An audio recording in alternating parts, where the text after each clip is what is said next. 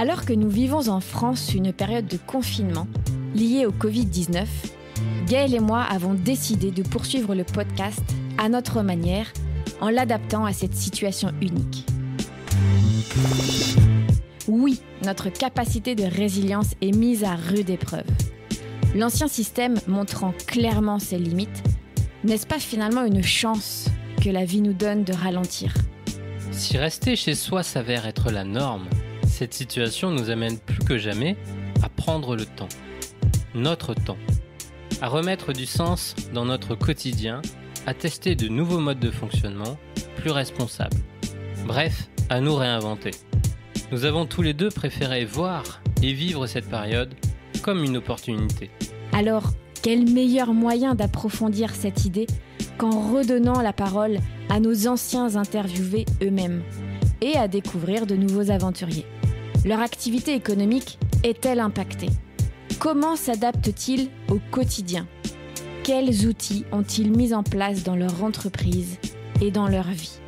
Chaque semaine, nous échangeons avec ces aventuriers et aventurières de la vie, passés précédemment sur le podcast, ainsi que quelques nouveaux. Les discussions ayant été réalisées à distance, le son peut vous paraître moins qualitatif que d'habitude. La situation oblige, le matériel s'adapte aussi, avec le sourire.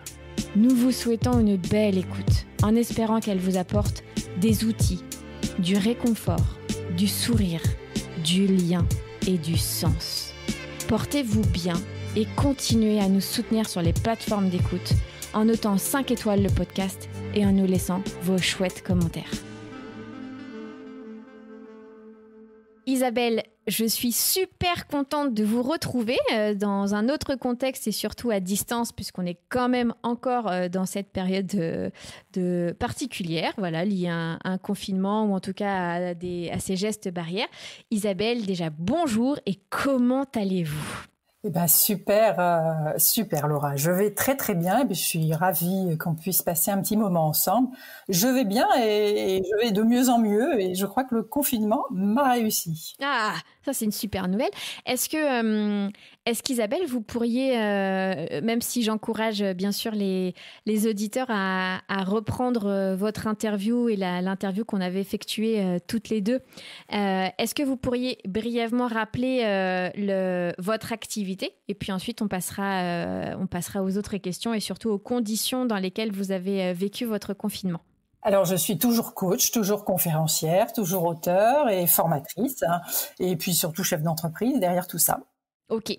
Le 16 mars dernier, quand le gouvernement a annoncé euh, le confinement, qu'est-ce qui s'est passé dans votre organisation et dans votre activité professionnelle, Isabelle? Comment ça s'est passé tout ça? Alors, à, titre privé, je suis allée me confiner euh, avec mon dernier fils qui est étudiant parce que je suis une maman. D'accord. Euh, et j'avais envie d'être avec mon fils, de pouvoir enfin passer plus de temps avec lui, ce que j'ai fait. Donc, je suis allée me confiner à Lille avec euh, mon dernier fils. Et professionnellement, ben, il y a eu un petit creux quand même. Hein. Je pense que tout le monde s'est terré chez soi. Il y a eu un petit creux, mais un petit creux pour moi qui a été un ressourcement, il n'y a pas d'autre mot. J'ai été assez fatiguée, même si je suis quelqu'un d'assez serein sur un, terrain professionnel, mais j'avais eu une fin d'année assez chargée, avec euh, notamment les grèves, hein, qui avaient ajouté un stress supplémentaire. Et j'avoue que le confinement m'a fait un bien fou. J'ai enfin pu poser mes valises, ne plus me déplacer, profiter de, cet élan familial euh, enfin retrouvé. Et ça m'a vraiment vraiment, vraiment, vraiment fait du bien. Alors après, il y a eu quand même un petit moment de questionnement. Est-ce que je reste confinée si longtemps? Est-ce que voilà, est-ce que finalement pour le travail euh, c'est si bon que ça? Mais en fait, ce qui s'est passé, c'est assez curieux, c'est que à la fois je n'étais pas inquiète et en même temps je voyais quand même que l'activité baissait. Et puis, surprise, euh, les personnes avec qui je travaille habituellement m'ont contacté euh, pour travailler à distance, en fait. J'ai même pas eu besoin de, voilà, de, de, alors de, déclencher quelque chose. Euh, ça s'est fait assez naturellement. Ce sont des partenaires, des personnes avec qui je travaille de longue date, en, grande confiance. Et donc, on va dire que mon écosystème, eh bien, a été de l'avant par rapport à moi qui était plutôt bien dans la petite coquille, dans la petite bulle confinée. Et on a comme ça. Elle est venue vous rechercher. J'étais trop bien, que j'avais besoin de me secouer un peu, alors que j'étais vraiment super bien. Et euh, ben, j'ai fait ce que je fais habituellement, c'est-à-dire de la formation, par exemple, mais je, je l'ai faite à distance. Alors ça m'a permis d'aller un petit peu plus loin que la connaissance que j'avais habituellement des outils. Donc j'ai un peu exploré sur le digital tout ce que proposaient tous ces startups merveilleuses hein, qui ont mis à disposition leurs services gracieusement. Ça merci, un grand merci à toutes ces entreprises. Donc pour faire de la formation à distance et puis j'ai profité aussi de ce temps euh, euh, disponible pour aider aider des personnes de mon entourage qui avaient besoin d'être coachées, euh, bah, qui est des femmes, des hommes qui se posaient un certain nombre de questions sur leur avenir professionnel, qui avaient pas pris le temps jusque-là et qui se sont dit, ben voilà, pourquoi pas. Euh, toc, toc, toc, Isabelle. Euh, on d'habitude, on a des relations euh, assez voilà, amical. Et puis là, on est passé sur un terrain un petit peu plus pro. Euh, moi, j'ai profité de cette période-là ben, pour euh, nouer un lien un petit peu plus en profondeur encore, sur un autre terrain cette fois-ci. Ben oui. Voilà. Et sinon, ça a été euh, merveilleux parce que j'avais la chance d'avoir un petit jardin, pas grand, hein, un petit jardin, toujours en friche, oh là là. et là que j'ai enfin pu voilà, tondre, tailler, et profiter des roses que j'avais dans mon jardin. Ça faisait longtemps que j'avais pas pris le temps de regarder les roses. Mmh. Et je vous avoue que je suis mmh. un peu contemplative des rosiers que j'avais au fond de mon jardin. Et ça m'a, voilà, ça m'a, ça m'a réjoui, franchement, de reprendre le sens, vous savez, le sens du, du mmh. réel, en fait, le sens du réel. Euh, de la vraie et des choses simples en plus. Voilà, des, de, de, profiter de mon fils, de profiter de mon jardin, d'avoir finalement des relations quand même qui perduraient à distance. Euh, bah, tout ça mêlé, ça a été un, un, temps, un temps agréable, sincèrement. Pour moi, ça a été un, mm. temps agréable. Alors après, autour de moi, j'ai des gens qui ont eu des temps beaucoup moins agréables, avec qui j'ai partagé aussi. Oui. C'était pas toujours très heureux. Mais si vous me questionnez à titre personnel, pour ma petite bulle personnelle, je l'ai plutôt très bien vécu. Tout à l'heure, vous parliez de, de, cet écosystème qui était venu vous, vous rechercher. À quel à quel moment en fait de, cette période du, de confinement, à quel moment ça, ça s'est intervenu? Est-ce que c'était dès les premiers jours, premières semaines, ou c'était plutôt euh, euh, à la fin du premier mois? À quel, à quel moment ah c'était? une, quinzaine de jours après en fait, parce que je, travaille avec un écosystème entrepreneurial aussi, et donc comme les entrepreneurs sont quand même euh, largement touchés hein, par cette interruption d'activité, ben, comme je travaille dans le enfin je travaille des structures d'accompagnement à l'entreprise entrepreneuriat. Et donc, euh, il y avait euh, chez eux une urgence euh, à, remobiliser leurs équipes pour accompagner les entrepreneurs. Donc, je étais à leur côté pour aider les équipes à prendre en main les entrepreneurs pour pas qu'ils tombent au fond du seau sur le plan du mental, du désespoir chez certains. Hein. Donc mon rôle, ça a été de créer de la méthodologie, de donner des moyens et des ressources à ces personnes pour qu'elles puissent aider elles-mêmes les entrepreneurs avec plus d'efficacité. Donc très très rapidement, ça s'est mis en œuvre.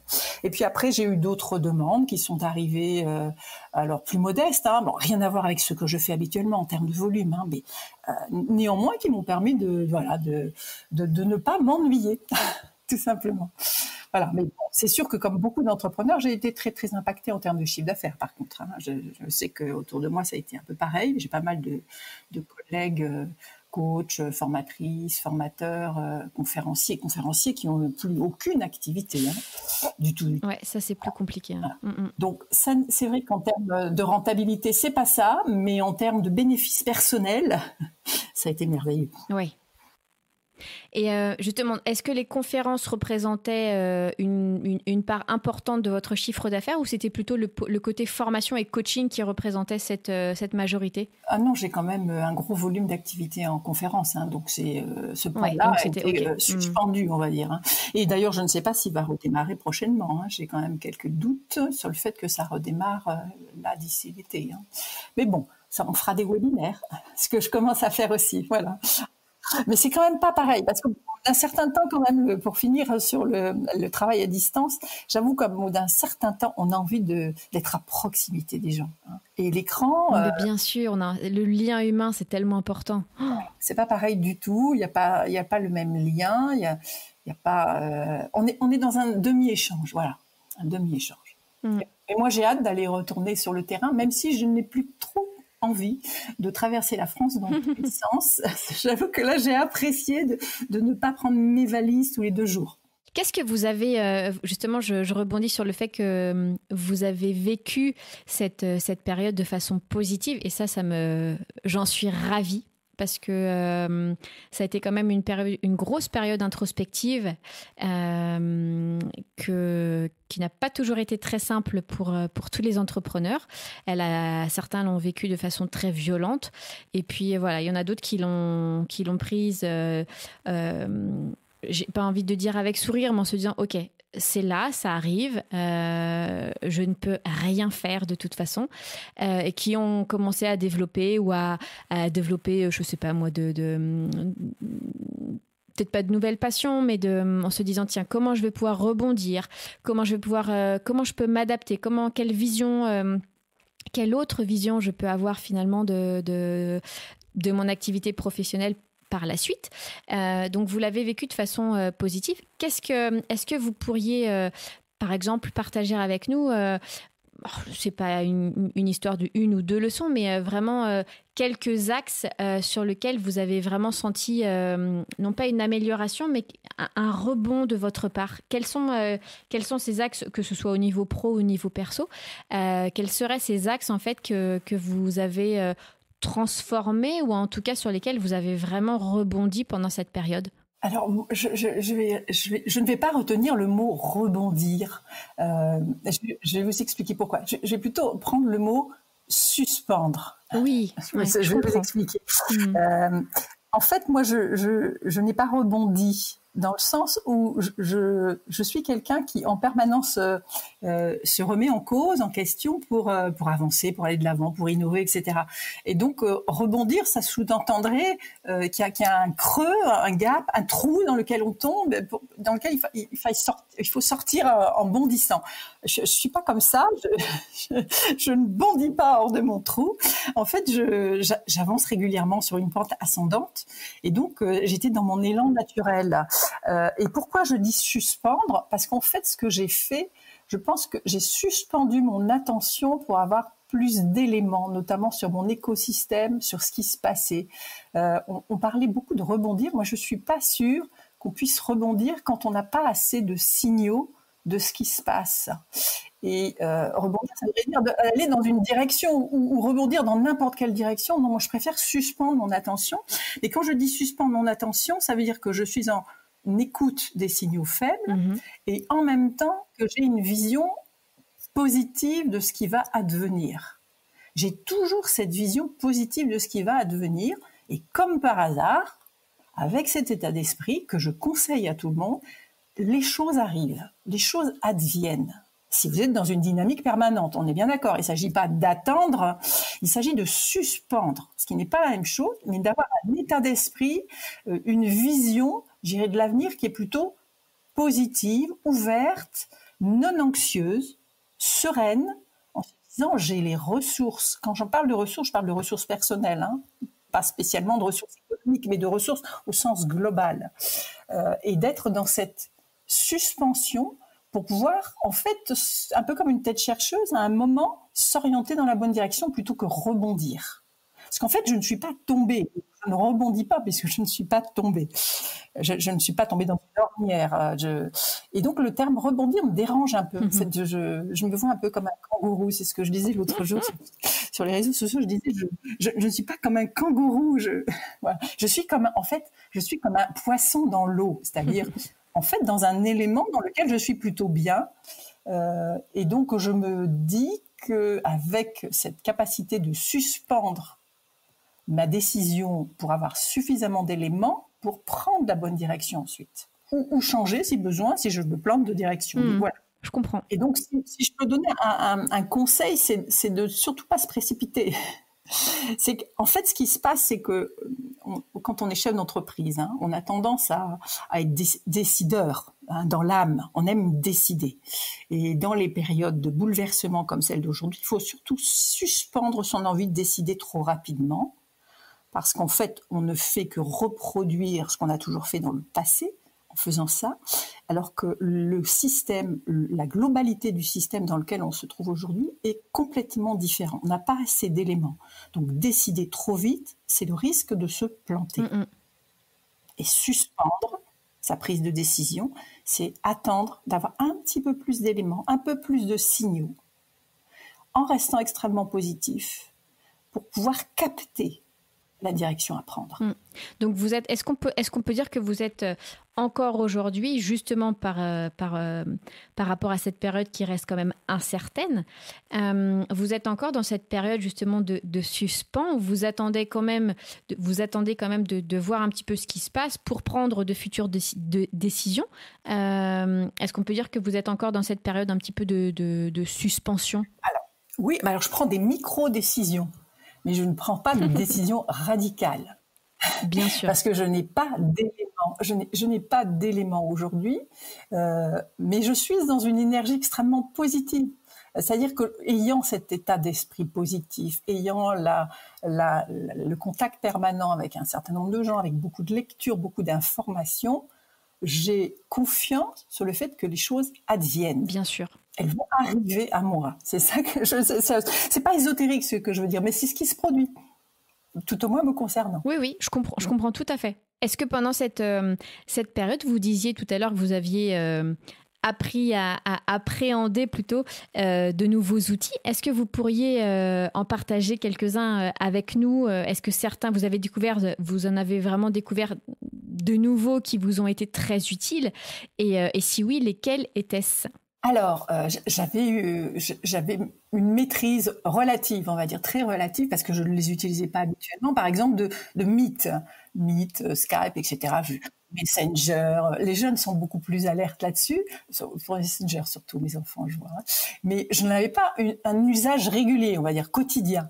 Euh, je suis rentrée assez rapidement sur ces outils-là parce que je devais former à distance, donc Meet par exemple, le partage, les documents, etc. Je suis allée explorer euh, les outils permettant de faire euh, des, des webinaires pour pouvoir comparer. J'ai observé Livestorm, ça s'appelle Livestorm, je mhm. crois c'est ça. Zoom, Zoom avec les problèmes de sécurité qu'il y a eu un moment, je me suis retenue. Vous voyez, j'étais en suspension à nouveau. Et maintenant, je vais utiliser Zoom. Voilà, euh, des outils comme ça. Je, découvre en fait, je les utilisais, mais je n'avais pas tous les usages en fait. J'avais pas utilisé toutes les fonctionnalités. Et donc maintenant, j'ai un truc euh, qui, qui, qui est génial, c'est qu'à chaque fois que je vois une nouvelle lis un nouveau truc, le premier truc que je fais, c'est je vais sur Google et comment ça fonctionne. Et comme me dirait mon fils, qui est très très, très intéressant là-dessus, ça a été utile cette rencontre avec mon fils longue durée là. maman va regarder un tuto. Alors maman va regarder les tutos. et maman va apprendre à faire toute seule euh, la nouvelle appli, l'installer, l'utiliser, voir ce que je peux en faire professionnellement, etc. Ce que je ne faisais pas forcément parce que vous savez, j'ai déjà pas mal de métiers et donc là, je suis devenue en plus une experte de, de, de toutes les nouvelles applis qui sortent pour voir dans quelle mesure elles pourraient être utiles, facilitatrices pour mes clients, etc. Zoom, euh, voilà, tout, tout, ce qui est de travail à distance. Hein, et j'en connais très très peu encore pour le moment. Mais, mais voilà, je découvre. Puis j'ai un Mac aussi donc, je, suis allée me plonger dans le fonctionnement de mon Mac. J'ai réussi euh, à faire un, ouvrage en ligne, par exemple, avec mon Mac. Euh, donc, de passer en mode numérique mon dernier, enfin mon premier livre que j'ai ressorti et, réactualisé un peu. Oui, j'ai vu la réactualisation, oui.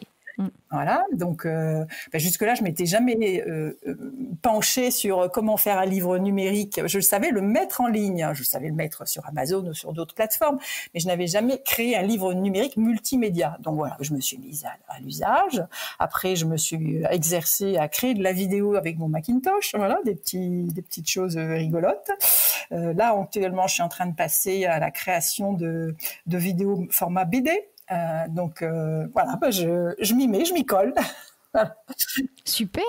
Euh, est-ce que vous avez, par exemple, pendant ce confinement, écouté ou visionné une, vidéo, ou vous avez lu un livre, ou vous avez, est-ce qu'il y a eu un moment particulier ou un, une lecture ou une, musique, peu, peu importe, qui vous a hum, qui vous a qui vous a interpellé. Euh, je sais qu'il y a beaucoup ont pris le temps de, de, lire euh, et de se dire tiens voilà de, cette lecture à, à, émerger une, une, nouvelle idée ou, euh, ou peu importe. Est-ce qu'il y a une lecture, une vidéo ou, ou, ou, quelque chose ou un moment qui a été qui a été assez décisif et en tout cas qui a été très, très bénéfique pendant cette période?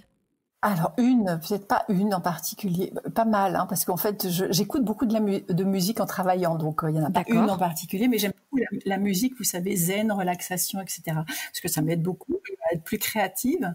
Euh, ça c'est pour la musique, mais ça c'est mon quotidien, gérer la musique. D'accord, ça c'est votre quotidien. Euh, mhm. Ça, c'est mon quotidien quand je travaille surtout ou quand je veux me détendre. Après, en termes de lecture, j'ai avalé un nombre d'ouvrages impressionnants, euh, mais assez professionnels. Alors, je ne sais pas si ça va beaucoup intéresser euh, nos auditeurs. Ah ben oui, oui, bien sûr. C'est autant de choses que vous n'avez pas lu forcément auparavant, donc ça, ça compte au contraire. Alors, celui qui m'a le plus, euh, voilà, le plus intrigué, c'est un ouvrage en fait que j'avais reçu par la poste il y a quelques mois, euh, par l'auteur de euh, qui a fait le, le, pavé qui s'appelle Power. Je ne sais pas si vous voyez, Robert Greene, oui, qui a un ouvrage absolument un énorme pavé, mais un, ouvrage assez monstrueux sur le fonctionnement du pouvoir, hein, donc les, les, les lois du pouvoir. Et j'ai reçu par la poste d'une journaliste le dernier ouvrage, donc il y a quelques mois, de Robert Greene, qui s'appelle Les lois de la nature humaine. Mmh. Euh, donc, euh, D'abord, l'épaisseur du livre m'avait beaucoup effrayé quand je l'avais reçu. Et puis, euh, le petit mot qui l'accompagnait, manuscrit, disant Vous êtes maintenant l'apprenti de Robert Greene. J'étais très inquiète parce que j'avais lu celui sur le pouvoir et qui m'avait beaucoup effrayé. Et donc, je me suis décidée à ouvrir cet énorme pavé pendant donc cette période de confinement. Et j'avoue que j'ai été quand même très intriguée parce qu'il y a plein de choses intéressantes. Alors, il y a plein de choses qui me choquent sur le plan des valeurs. Euh, mais d'un autre côté, ça m'a secoué parce que je me dis, euh, ça me choque, donc euh, c'est quelque part que j'ai quelque chose à apprendre. Et donc j'ai parcouru cet ouvrage à plusieurs reprises. Je l'ai croisé avec des notions de coaching, des notions de philosophie, et ça m'a amené plein d'idées. Hmm. et puis et puis après, ça m'a branché sur un deuxième livre, sur l'énéagramme que j'ai que j'ai découvert. C'était la première fois que je, je découvrais cet outil-là, ce qui m'a amené à de nouveaux, nouvelles autres idées. Euh, puis après, j'ai parcouru un ouvrage sur l'analyse systémique euh, qui me passionnait depuis un moment, que j'avais pas lu non plus. Donc voilà. Euh, et de livre en livre, ben, je suis arrivée avec à envoyer un petit article à une copine qui est historienne de l'art, vous voyez, comme quoi les lois de la nature humaine, l'énéagramme, etc., m'a amené à cette copine. Je lui envoie un petit article. Je lui dis, j'aurais envie de faire quelque chose avec toi euh, autour de cet article-là.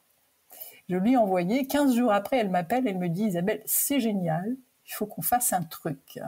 Et donc, de quoi parler cet article? Ben, ça s'appelait. Euh, c'est un article qui parle de former à la créativité. Et je pense que toutes ces lectures ont fait émerger une envie de quelque chose chez moi, de, de, de travailler sur le créativité.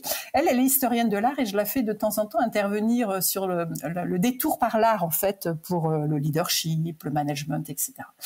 Et donc, on est en train, ensemble, juste euh, avant qu'on se contacte, j'étais avec elle euh, par Skype, vous voyez, on utilise les outils modernes, hein, en train de monter notre projet, de monter notre projet de justement de formation à la créativité et surtout à l'innovation, où on va toutes les deux, chacune avec un angle de différents, travailler sur l'innovation dans l'entreprise.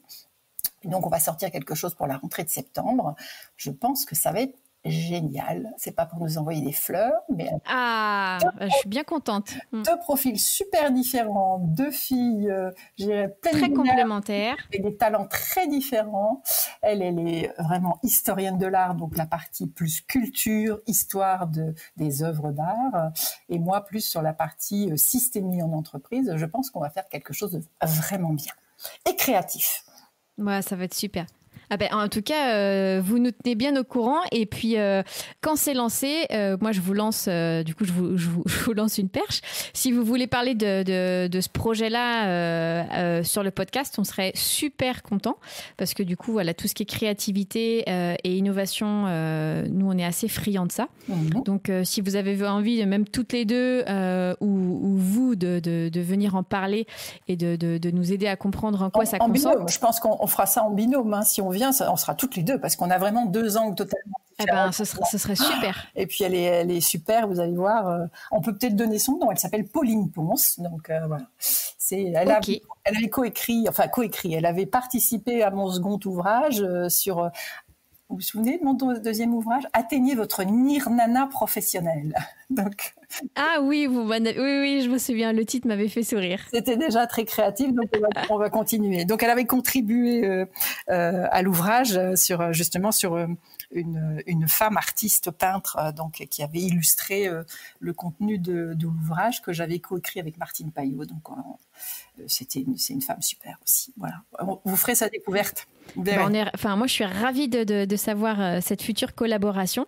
Et, euh, et, au contraire, euh, à la rentrée, si vous avez, euh, quand, quand, le projet sera, sera lancé, moi je serais super fière de, de vous interviewer et d'en de, d'en savoir plus sur votre, sur votre projet. Donc voilà, vous, quand vous êtes prête, vous pensez au podcast et puis on, on, en parle toutes les trois avec grand, grand plaisir. Ah ben merci, merci, ravi. On, va être prête de toute façon. On suspend, on suspend en ce moment parce parce qu'on réfléchit beaucoup. on réfléchit et on prépare en fait. On est dans les starting blocks là. Eh ben, écoutez, Isabelle, merci beaucoup pour le temps que vous, que vous nous avez accordé. Euh, merci encore euh, pour toutes ces pépites que vous nous avez euh, transmises et surtout pour cette bonne nouvelle que vous nous avez annoncée à la fin. Moi, je, suis déjà bien excitée à l'idée d'en savoir plus sur cette formation.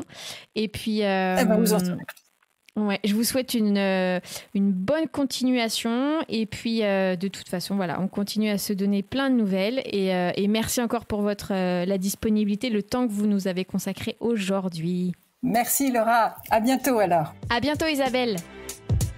C'était la série hashtag Sacrée Aventure. Si l'épisode vous a plu, vous pouvez le noter 5 étoiles sur Apple Podcast et les autres plateformes d'écoute. Cela donnera à d'autres la curiosité et l'envie de découvrir notre podcast. Dans cette période spéciale de confinement, continuons à prendre des nouvelles de nos proches, de nos amis, de notre réseau. Garder le lien s'avère une excellente façon de conserver la santé. Alors continuons à découvrir notre capacité de résilience, à nous réinventer au quotidien et à ralentir en prenant soin de nous-mêmes et de notre entourage. Prenez soin de vous et à bientôt pour un prochain épisode. Hashtag Sacrée Aventure.